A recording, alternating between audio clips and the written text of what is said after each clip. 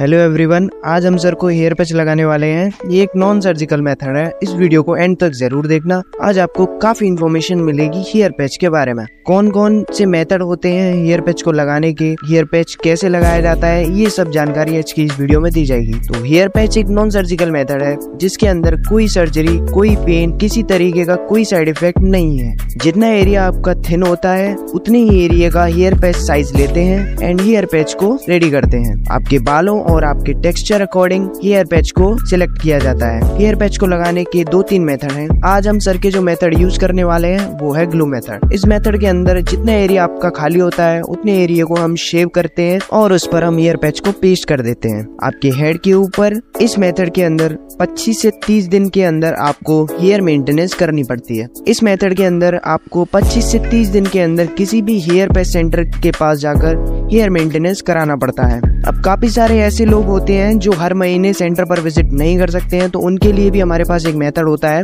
अगर आप उस मेथड से रिलेटेड इन्फॉर्मेशन चाहते हैं तो डिस्क्रिप्शन के अंदर आपको लिंक मिल जाएगा।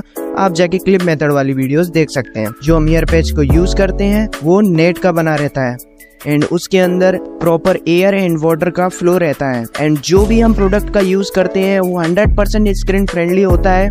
इनके कोई साइड इफ़ेक्ट भी नहीं होते हैं। और जिस ग्लू का हम यूज़ करते हैं, उसका भी किसी भी तरीके का साइड इफ़ेक्ट नहीं होता है। इसका एवरेज होल्ड 25 से 30 दिन का होता है।